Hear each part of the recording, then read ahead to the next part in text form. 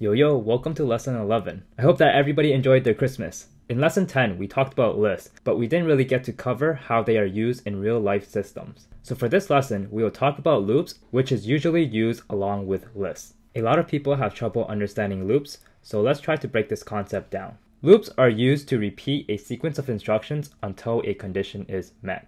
Let's do a simple example together. Every day, it is recommended that we eat three meals a day breakfast, lunch, and dinner. So for breakfast, I usually have cereal. For lunch, I like to eat banh mi. And for dinner, I like to eat some pho. So to keep this example simple, the instructions that we will be repeating each day is eat breakfast, eat lunch, and eat dinner. To write these instructions in code, all we have to do is print eat breakfast, print eat lunch, and then print eat dinner. And if we run the code, we're gonna see eat breakfast, eat lunch, and eat dinner. Cool, so that's for one day only. So let's extend this example to a week. So we're gonna need to do this seven times in total. So what we can do is we can copy these three lines seven times. So let's do that. Copy and paste. And as you can see, it says eat breakfast, eat lunch, and eat dinner seven times. So right now our code looks pretty messy. We have 27 lines of code in total just to do something very simple. We can clean this code up very easily by putting it inside a function. So let's create a function called eat meals, define eat meals, and now we can delete all of the lines below. And now let's hit run. Nothing happens because we have to call this function. So let's call our function eat meals, and then let's click run. So now we see it one time, and now if we want it seven times, we just have to copy this seven times. So one, two, three, four, five, six, and seven. So now if we run our code, we're gonna see eat breakfast, eat lunch, eat dinner seven times. But now as you can see, we reduced from 27 lines of code to only 12 lines of code, which is awesome. Okay, now what if we need to do this for a whole year? I don't want to copy and paste this 365 times. Instead, we could use a loop here and remove the need to copy and paste code. So for this example, we want to call the function eat meals 365 times. So the condition for how many times we want to run this loop is 365 times. Write a loop in Python, it is very simple. All you need to do is start the statement with for, F-O-R, and then you provide a name for the variable to keep track of the current iteration. In general, a lot of people like to use i or index, so let's stick with index to be clear. And then you type in, in, and then you type range, and then you open the parenthesis and you provide a start and an end value. And then you end the statement with a colon. And then after that, you want to indent and then provide it the block of code that you want to repeat. In general, like a list, we like to start our range from zero. And then for the end value, you just provide it the value that you want to loop up to. So in our case, we want to loop up to 365 times. So our end value will be 365. One thing to note is that the end value is non-inclusive.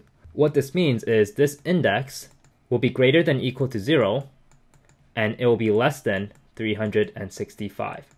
So in total, we will repeat this logic 365 times, and we'll start at 0 and we will only go up to 365. So the last value that we'll go up to is 364. And if you want to start at 1 instead of 0, all you have to do is add 1 to the start and the end values. So instead of starting at 0, we'll start at 1, uh, and then we'll end at 366 instead. Before we jump to code, I just want to explain this index value a bit more. Basically, you can think of this index value as a counter, so it keeps track of what iteration we are currently at. So for our example, since we're dealing with the days in a year, this index can be thought of as the current day. So instead of calling this index, let's call it day for our example. Let me show you how this works with a smaller example. So instead of doing 365, let's do 7 instead. Uh, let me erase this.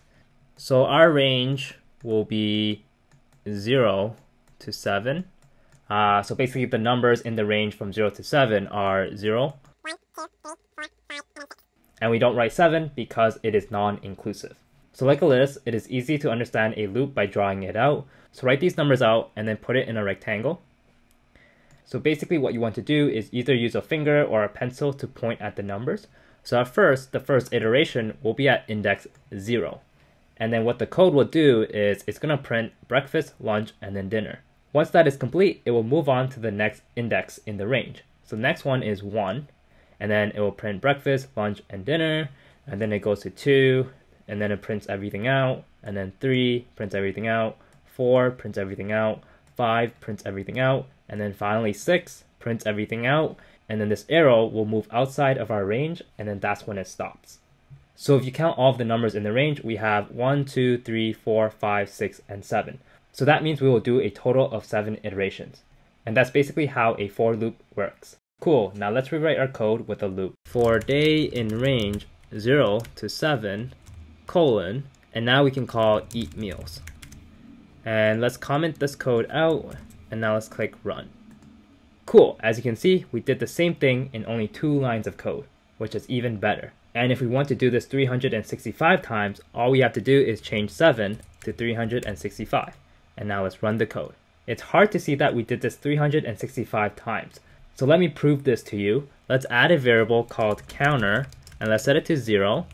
And after each iteration of the loop, we are going to add 1 to the counter. So this way at the end, we'll know how many times this loop was executed. So now let's hit enter and then backspace.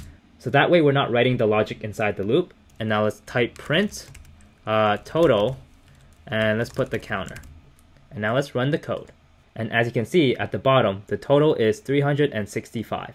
Oh yeah, I also want to show you what the day represents. So let's also print that out as well.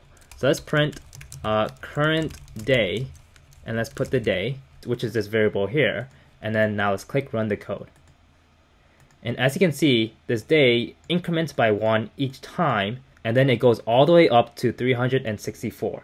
So because the end value is 365, the loop goes up to 364 and then it stops. So like I mentioned before, if we want to start at 1 instead, we'll have to add 1 to the start and the end value.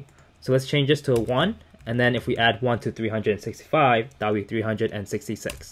And now let's run our code again. And now as you can see, if we scroll up, okay, so it looks like on Replit, it cuts the output out, so we can't see the stuff from the beginning. Um, but as you can see, here's 110, and then 111, and then 112, and then finally at the end, we at least go up to 365. And as you can see, the total is also 365. So nothing has really changed except for this day. So let me revert this to 7 just to illustrate this example. And now let's run the code.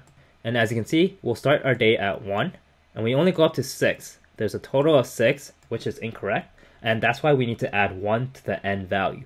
So now let's add 1 to 7, which is 8, and let's hit run again. And as you can see, our current day starts at 1, and the last iteration is at 7, and we have looped a total of 7 times. Cool, and that's how you write a simple for loop in Python. Just a quick recap, to write a for loop, we have to start the statement with for, and then we provided a variable name to keep track of the iteration. And in general, people like to use i or index. And then the next keyword is in, and then you provide a range with a start and an end value. After that, you indent, and then you provide a block of logic that you would like to repeat. Hopefully this lesson made sense. Here are two problems that you can try on your own. Uh, print 1 to 100 with a loop, and print hello world 50 times. Try this out, and if you have questions, please leave it in the comments below. Thanks for watching. Make sure to like and subscribe for more content.